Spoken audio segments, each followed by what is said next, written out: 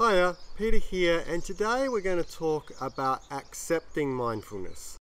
Now, mindfulness is all the rage at the moment, and it is indeed the most powerful thing we have for our emotional and spiritual and physical health. It is so powerful.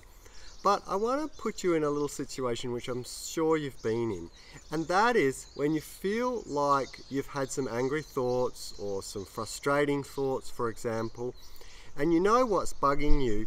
And you are mindful of those thoughts. And you hope that they'll go away but indeed they just don't go away. And they keep on and on and on. And so it makes you question you know what is the power of this mindfulness if it doesn't help me stop feeling bad? Well there's a sort of another level of mindfulness that one needs to go to to be able to actually allow those negative feelings to go away. Because not only do you need to be mindful of how the thoughts that you're having are impacting your feeling, but you also need to accept it. So, for example, you might be thinking, okay, I can see that I've got thoughts that are causing me to feel frustrated.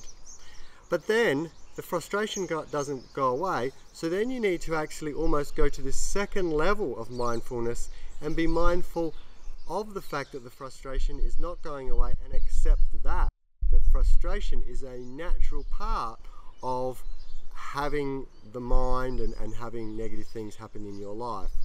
Now what happens then is that when you accept the frustration as a natural part of life, oddly enough, it does start to dissipate and you'll feel much better.